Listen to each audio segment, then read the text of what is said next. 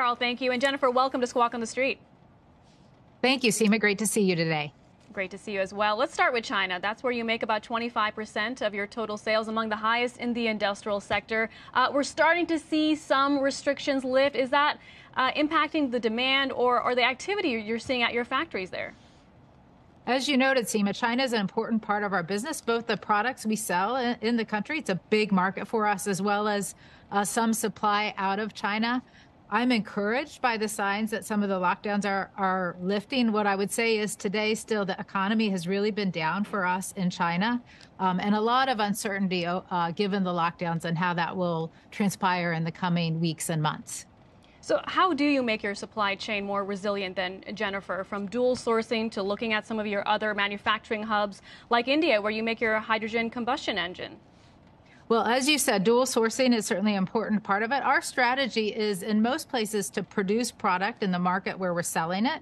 Uh, and m- much of our supply base is in that market as well. And then globally, we look to have redundancy across our suppliers on our own manufacturing so that as we see uh, whether it's weather issues or other un- uncertainty in, in supply, that we're able to adapt and adjust. And that served us well in the last two years where we've seen significant challenge across our supply base. Now, clean tech has been one area where you continue to invest in. I know you just announced that you're now producing uh, electrolyzers, which are used in the production of hydrogen. How is that impacting where you're expanding your manufacturing base?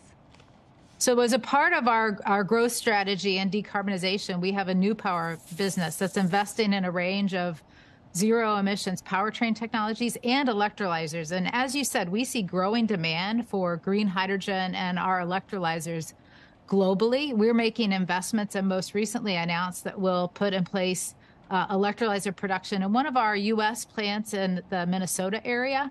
500 megawatts. And with the passing of the Inflation Reduction Act, we're really seeing increased demand here in the U.S for green hydrogen and the start of building out an infrastructure that can support decarbonization of our industry.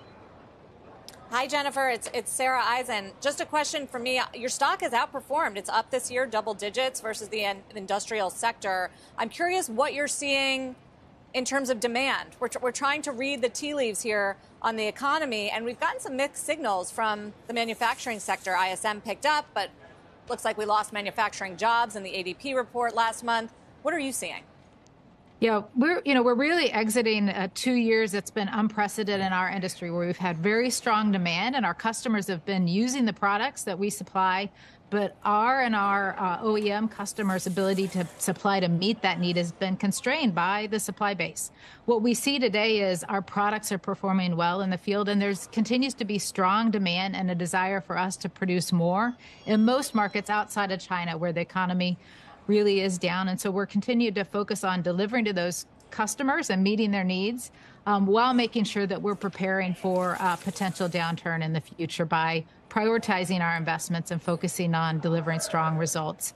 When I look at how our stock has performed, I think it's a reflection of that strong performance that we've had this year in delivering improved revenue and profitability, and also our strategy and the growing understanding of Cummins' growth strategy and, and, and how we're positioning for the medium and long term as well.